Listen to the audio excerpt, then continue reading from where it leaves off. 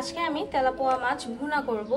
আর তেলাপোয়া মাছ ভুনা করার জন্য এখানে আমি মাছের পিসগুলো হলুদ আর একটু মরিচ দিয়ে মেরিনেট করে রেখেছি দশ মিনিটের মতো। আর এখন আমি এই মাছগুলো ভেজে ফেলব। তো আসুন, আমি কীভাবে ভাজি আপনারা আমার রেসিপিটা দেখতে থাকুন। আর অবশ্যই কিন্তু আমার চ্যানেলটা সাবস্ক্রাইব করে দিবেন, এই ভিডিওটিতে লাইক দিয়ে দিবেন। আর যদি কোনো প্রশ্ন থাকে, অবশ্যই কিন্তু কমেন্ট সেকশনে জানাতে ভুলবেন না। তো আসুন, আমাদের রেসিপি শুরু করা যাক।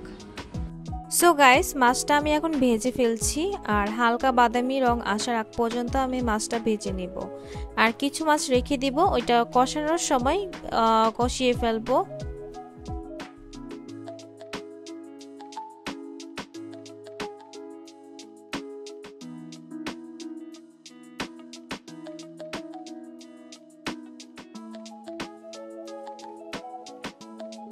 মাছ ভাজার সময় কিন্তু তেলের অনেক ছিটা আসে, তাই এটা একটু খেয়াল রাখতে হবে, ওই সময়টা একটু দূরে সরে যেতে হবে।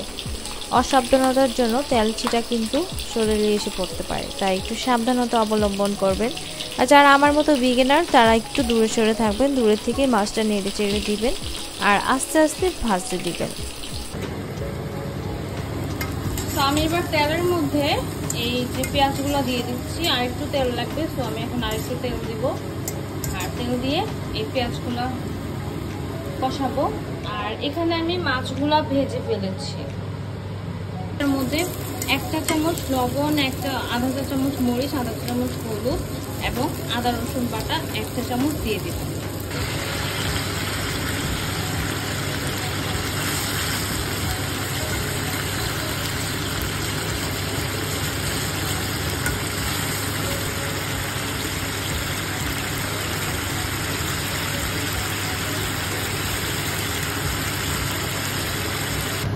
গাইস আমি এখন মশলাটা কষানোর পরে দিয়ে দিলাম মাছটা। এখন মাছটা একটু কষাবো, তারপর পানি দিয়ে ঢেকে দিব।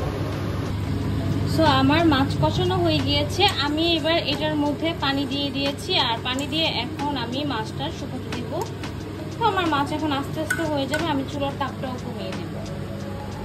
পানি দিয়ে ঢেকে দেওয়ার পরেই আপনি যতটুকু পানি চান মাছে অতটুকুই শুকাবেন। দেন আপনার মাছের ভুনা, মাছ ভুনা রেডি হয়ে যাবে।